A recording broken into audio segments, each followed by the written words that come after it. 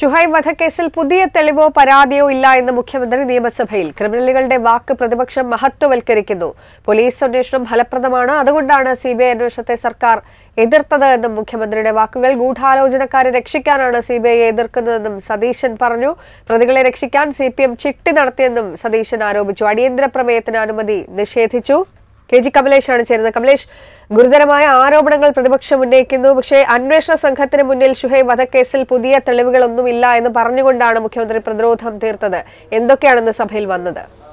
Sheetal Akash തില്ലങ്കരിയുടെ Facebook പോസ്റ്റിൽ നടത്തിയ ഒരു വെളിപ്പെടുത്തലിന്റെ അടിസ്ഥാനത്തിലാണ് ഈ വിവാദം വീണ്ടും ശക്തമായത്. അതാണ് പ്രതിപക്ഷം ഇന്ന് അടിയന്തര പ്രമേയ നോട്ടീസായി കൊണ്ടുവന്നത്. അതായത് തില്ലങ്കരിയിൽ പി. ജയരാജനെ കൊണ്ടുവന്ന് രാഷ്ട്രീയ വിശദീകരണം നടത്തി സി പി തീർക്കാവുന്ന കേസല്ല ഇത്.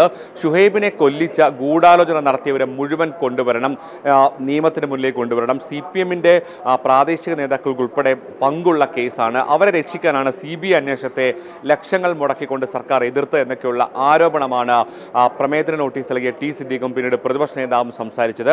മുഖ്യമന്ത്രി മറുപടി പറഞ്ഞത് ആദ്യം ആകാശിന്റെ പേരെടുത്ത് പറഞ്ഞത് പിന്നീട് ആകാശ് ജിജോ ഉൾപ്പെടെയുള്ളവർക്കൊന്നും തന്നെ പാർട്ടിയുടെ ഒരു സംരക്ഷണവും ലഭിക്കില്ല.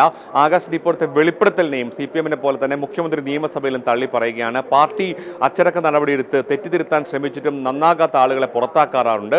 അത്തരത്തിലുള്ള ആളുകൾ പാർട്ടിക്കെതിരെ പലപ്പോഴും ശത്രുതാ മനോഭാവം പുലർത്താറുണ്ട്. അതിൽ നിങ്ങൾ കൂടുതൽ വ്യഗ്രത കാണിക്കേണ്ട ആവശ്യമില്ല. അത്തരക്കാരെ നിങ്ങൾ കൊണ്ടു നടക്കേണ്ട എന്നുള്ള രീതിയിലായിരുന്നു പ്രതിപക്ഷത്തിന് എതിരെ ആകാശിനെ വെളിപ്പെടുത്തൽ ആയുധമാക്കിയതിന് മുഖ്യമന്ത്രിയുടെ വിമർശനം. എന്നാൽ ആകാശിനെ മുഴുവൻ ചിറകിൽ ഒളിപ്പിച്ച് കൊണ്ടുപോയത് മുഴുവൻ സി പി എം ആണെന്ന് പറഞ്ഞുകൊണ്ടായിരുന്നു തിരിച്ചടി. ആകാശ് മാത്രമല്ല സോളാർ കേസിലെ പ്രതിയുടെ വാക്കുകേട്ട് ഉമ്മൻചാണ്ടിക്കെതിരെ സി ബി അന്വേഷണം വരെ നടത്തിയ കാര്യം പറഞ്ഞുകൊണ്ടായിരുന്നു പ്രതിപക്ഷ നേതാവിന്റെ തിരിച്ചടി. എന്തായാലും ഈ വിഷയത്തിൽ അടിയന്തര പ്രമേയത്തിന് അനുവ അവതരണാനുമതി നിഷേധിക്കുന്നതിൽ പ്രതിഷേധിച്ചാണ് പ്രതിപക്ഷം ഇറങ്ങിപ്പോയത്. യെസ് കെ ജി കമലേഷാണ് വിശദാംശങ്ങൾ നൽകിയത്.